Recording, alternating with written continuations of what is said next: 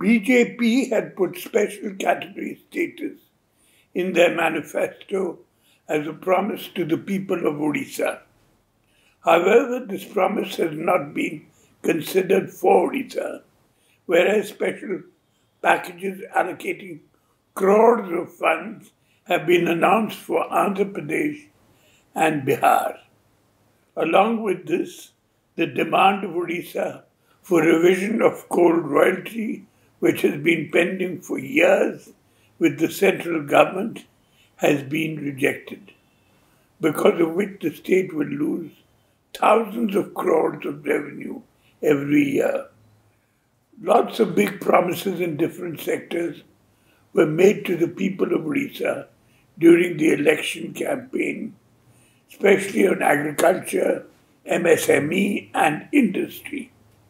There is no mention of any promise being fulfilled in this budget. This is a complete neglect of Odisha and her people.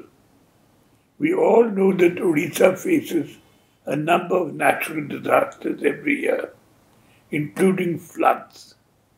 We had requested for a special package for disaster management. While similar requests of other states have been considered and they have been granted special packages for flood protection, the genuine demand of Odisha on disaster management has not been considered. So, on both counts, whether it is special package or revision of coal royalty, Odisha continues to be neglected by the NDA. Today, the most serious issue being faced by the common public is inflation or price rise and unemployment. This budget does not have any considerable intervention to address these two major issues. We have been fighting for justice in the Polavaram issue, allocating more and more funds for Polavaram without sorting out the genuine grievances of Odisha show impartiality against Odisha. The NDA government has been at the center for more than 10 years now, and every budget talks of focus on eastern India, including Odisha. There has been nothing substantial for Odisha over the years, and this budget has also been a disappointment for us. However, we shall wait for the details.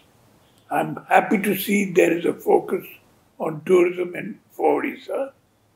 I hope it is substantial and we shall wait for the details to come out. I would say that along with the people of Odisha, I feel disappointed at the continued neglect of Odisha while the state contributes so much to the country. ନିର୍ବାଚନ ସମୟରେ ବିଜେପିର ନେତାମାନେ ଓଡ଼ିଶାବାସୀଙ୍କୁ ବହୁତ ବଡ଼ ବଡ଼ କଥା କହିଥିଲେ କିନ୍ତୁ ୟୁନିୟନ ବାଜେଟରେ ଓଡ଼ିଶା ପାଇଁ କିଛି ନାହିଁ